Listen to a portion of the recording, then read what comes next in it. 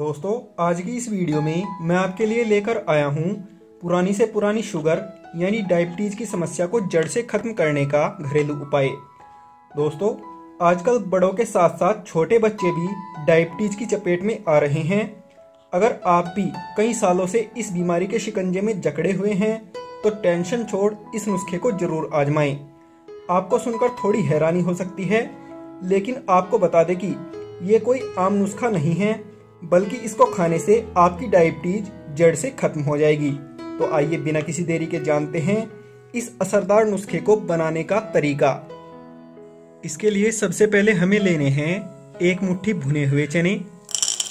कुछ इस प्रकार से। आप जो भुने हुए चने लेंगे, वह छिलके वाले ही होने चाहिए। फिर इसके बाद हमें लेनी है एक मुट्ठी इंद्रजौ। यह आपको किसी भी पंसारी की दुकान से आसानी से मिल जाएगी। इंद्रजौ हमारी पुरानी से पुरानी शुगर की समस्या को जड़ से खत्म करने का काम करती है। और यह भी हमें इसमें डाल लेनी है।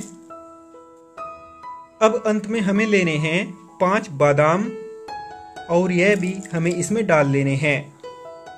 अब आपने इन सभी चीज़ों को एक मिक्सी के जार में डालकर पीस लेना है। तो ये देखिए दोस्तों, हमने इसे एक मिक्सी के जार में डालकर अच्छे से पीस लिया है। और आपका ये नुस्खा पूरी तरह से तैयार हो चुका है। अब जानते हैं कि हमें इसका सेवन करना कैसे है। दोस्तों, जिन लोगों को शुगर की समस्या यानी डायबिटीज़ की समस्या है, उन लोगों ने मेरे बताए अनुसार इस नुस्खे को बना लेना है।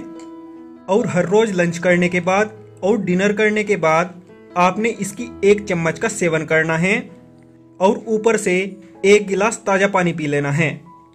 जी हाँ दोस्तों, मैं आपको एक बार फिर से बता दूँ आपने दोपहर का खाना खाने के बाद आपने इसकी एक चम्मच का सेवन करना है और ऊपर से एक गिलास ताज़ा पानी पी लेना है। इसी प्रकार से रात का खाना खाने के बाद आपने इसकी एक चम्मच का सेवन करना है और ऊपर से एक गिलास ताज़ा पानी पी लेना है। लगातार पंद्रह दिन तक इसका सेवन करने से आपकी पुरानी से पुरानी शुगर यानी डायबिटीज़ की समस्या जड़ से खत्म हो जाएगी। तो दोस्तों, आपको हमारी ये जानकारी कैसी लगी? प्लीज़ हमें नीचे दिए कमेंट बॉक्स में ज़रूर बताएँ। और ऐसी ही नई नई वीडियो देखने के लिए हमारे इस चैनल को सब्सक्राइब करें। धन्यवाद।